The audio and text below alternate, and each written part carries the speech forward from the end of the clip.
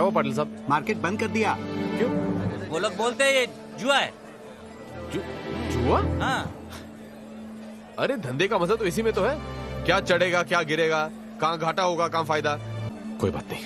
ए market यही शुरू करेंगे। आ जाइए आ जाइए आ जाइए रुको रुको रुको गुरु क्या कर रहा है खुद तो जेल जाएगा हम सबको भी जेल भिजवाएगा।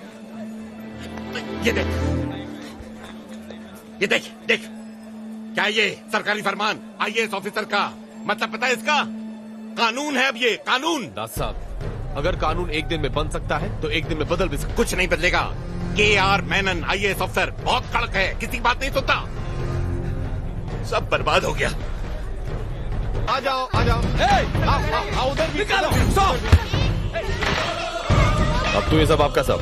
क्या बकवास करता है? मेरी केला सिल की दुकान थी जो आपने बंद करवा दी। तो अभी सब आपका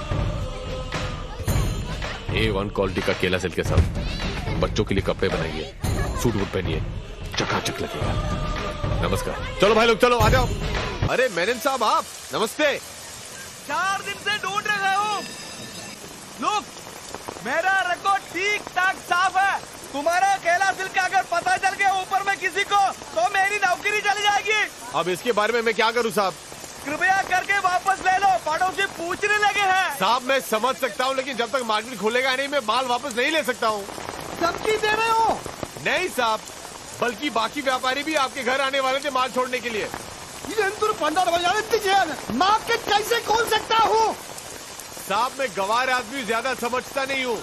लेकिन अगर मार्केट में ताला आप ही ने लगाया तो चाबी भी आपके पास होनी चाहिए ना। अगर मैं ना कह दूँ तो? क्या साहब?